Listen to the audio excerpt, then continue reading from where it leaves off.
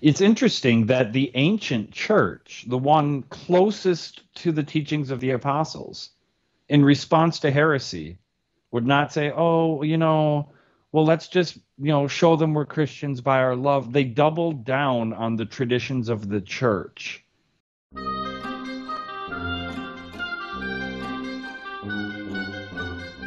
Going back to the initial reason of Advent, the first Advent, preparing for Christmas. Now, something that a, little bit of history, a little bit of back backstory with um, Advent, like many traditions within the church, we don't have a specific date on when Advent started, but we do have a council in 380 AD that mentions Advent. It mentions that Advent has been going on for a while. It's the Council of mm-hmm. Mm-hmm. which when I first learned about this in seminary, it sounded like you know, a Pirates of the Caribbean thing, the Council of Saragossa. and Saragossa is in modern day Spain, for anyone who doesn't know. But the Council of Saragossa in 380 AD was um, fighting against the Priscillian heresy. So Priscillianism is basically a, a pseudo Gnostic heresy that basically basically said that the incarnation of Christ was not meant to redeem human nature. It is not good that Christ was incarnate.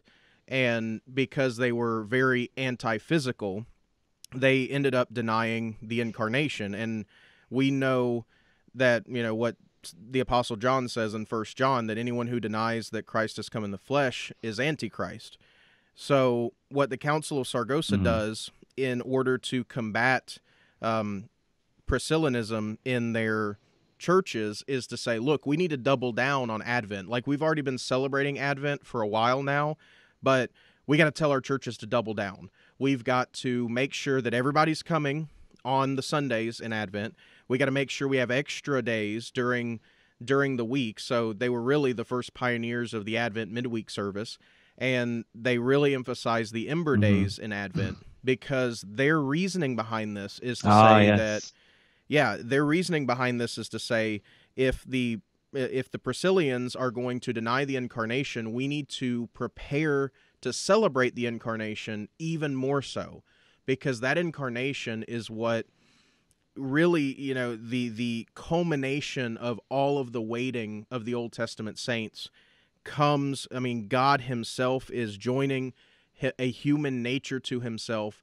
And so to deny something like that in the early church is is going to cause a lot of people again to double down on this season of advent to say we have to prepare because the incarnation is that important. It does redeem human nature. Jesus does take on human mm-hmm. flesh. He is fully God and fully man.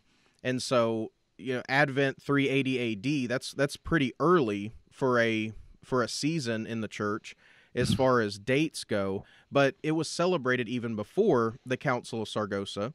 The Council of Saragossa is just doubling down on it because these these gnostics are still wanting to deny the incarnation and so we got to prepare for the incarnation even more mm-hmm.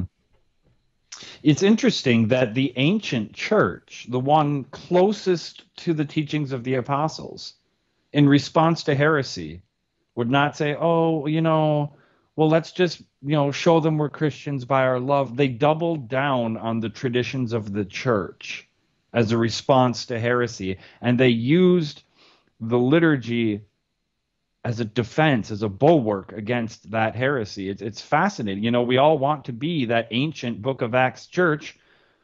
Get ye to liturgy then. Exactly. Drop your silly little kowo. I mean, you want to talk about a tradition of man. That is definitely a tradition of man. And get get back to a liturgical way of doing things because the liturgy is so robust with the word of God heresy cannot stand where the liturgy is. Exactly. I mean it and it goes back even to the traditions within the synagogue and within the temple.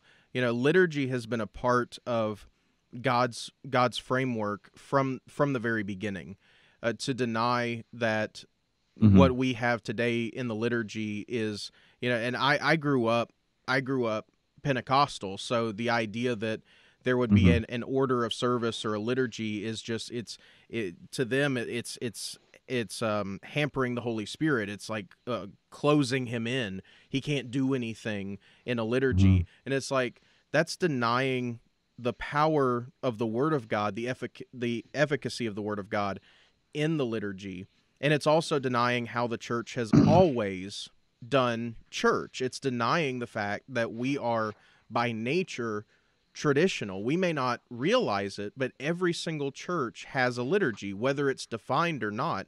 Even the most low Pentecostal churches have a liturgy. You know, they may they start out with some praise mm-hmm. songs. You know, they they take up an offering, they'll say a prayer over the offering, some more praise songs, then a sermon, then some closing praise songs. It's mostly just a concert with some, you know, inspirational stuff thrown in yep. there, but it's still yeah. a liturgy. It's still a tradition. It's it's fascinating that the the historic liturgy of the church, and heaven forbid, assigned readings, oh. would put God the Holy Spirit in a box.